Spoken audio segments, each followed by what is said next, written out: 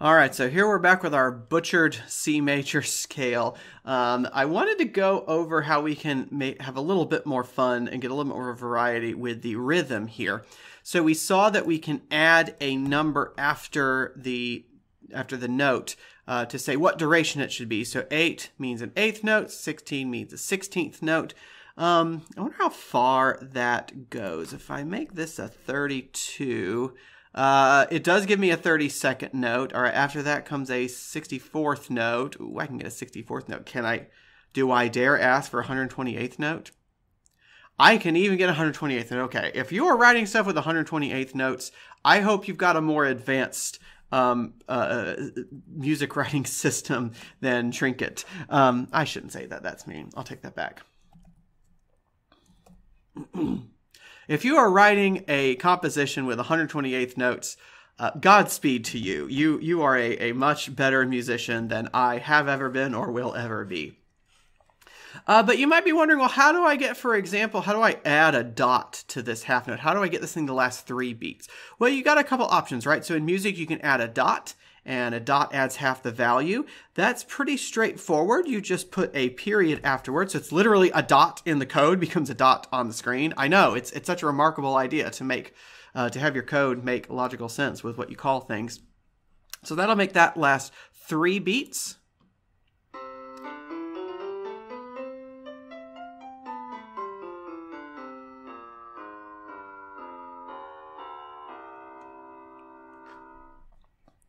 That's not the only option, of course. Uh, let's suppose I wanted I wanted this to be a half note followed by a uh, followed by an eighth note. So let's suppose I wanted it to be a, an eighth note in here. Excuse me, C8. There we go.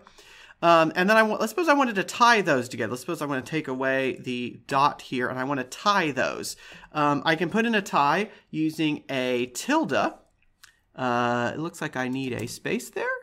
Yes, there we go. Okay, so you have to do space tilde space. I didn't I didn't put that down in my notes.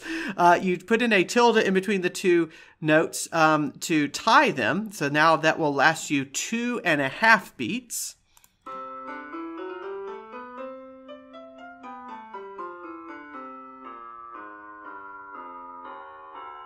Oh, and now I messed things up because now I've got all the quarter notes down here syncopated. Um, let's turn this C into... Oh, I know what to do with this. Let's put a dot on this.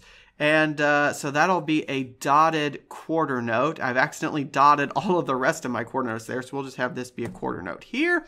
And there we go. Okay, now I've got my measure break back in place. Good, good, good.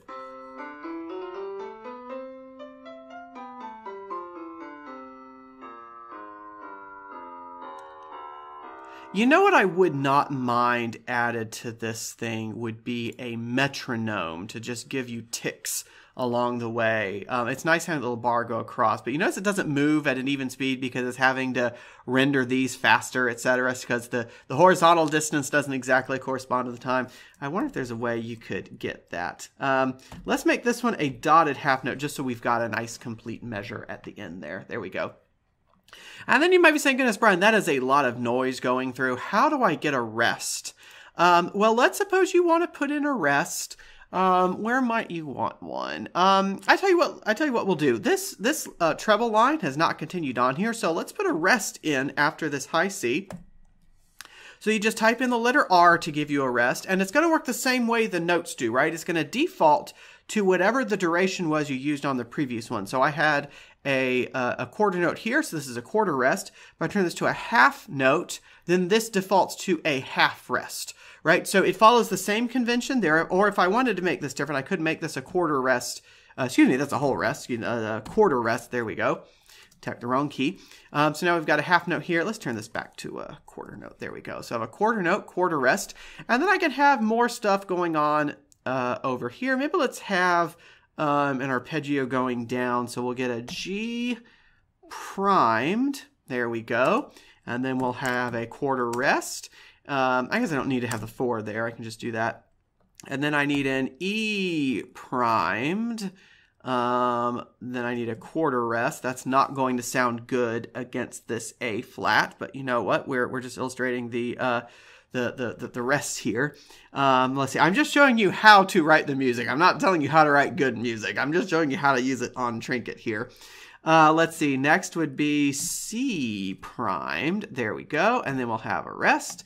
And we need to have this mel. We need to have this rhythm catch up with this rhythm. So let's just have the rest go in eighth notes. So we'll have a G as an eighth note, and then I'll have a rest. And then I'll have an E, and then I'll have a rest. And then I'll have a middle C uh, let's see, I've got one beat, two beats. I got two more beats here, so I'll make that a half note. There we go. Now everybody's lined up in terms of beats.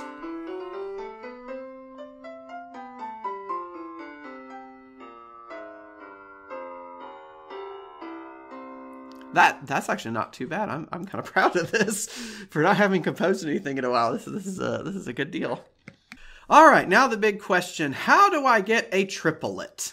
Uh, let's see. The way you do that, let's let's let's pick something to turn into triplet first. Uh, let's take these last three notes here.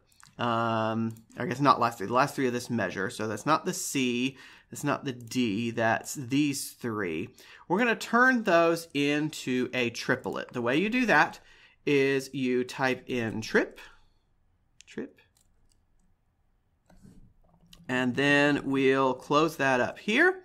And you notice here, I get a triplet. Now it's defaulted to quarter note triplets. Let's see how that ends up. Yeah, let's see. So, okay, so the way triplets work, when you have three of them, it takes up the same space that two of them normally would. So this is going to be triplet over two and three. So beat two starts here, beat three starts in the middle here.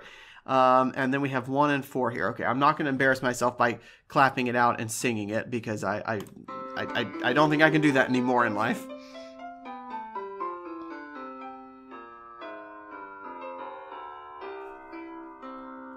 Okay, I didn't, I didn't, I had trouble hearing that. Let me try that again.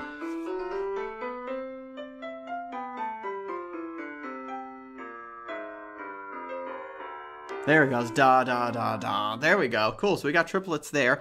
Um, let's see. If I want that to be an eighth note, eighth note triplet, do I put an eight at the end there?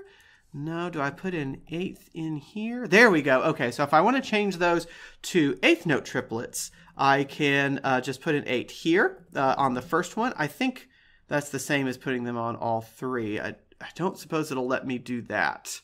Oh, it did let me do that. I have no idea what sort of monstrosity that's supposed to be like. Um, so I'll just leave it as that. I, I don't think I've ever seen that in a. I, I guess it would be twice as long as the others, but it's going to mess up the, the rest of it. I guess I guess you would do that if you only had two notes in here and you wanted to have an eighth note triplet here and a quarter note triplet here, and then you left out the third note because you've got two triplets invested in here. So it'd be like it'd be like this. You'd be closing it up here Get rid of that there. That that arrangement does not look right to my eyes.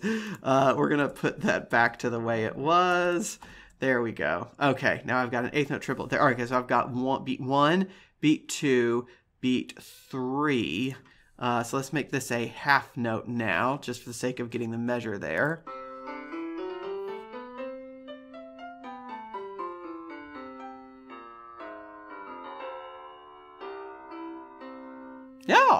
That's pretty good. That's that, that's not bad. So anyway, that's a little more of how you can get more rhythm and rests out of your trinket composition. Next time, we're going to take a look at how to play around with the type signature and the key signature and all a bunch of other options and such that you can change about your composition. Thank you so much for watching. I'll see you next time. Bye bye.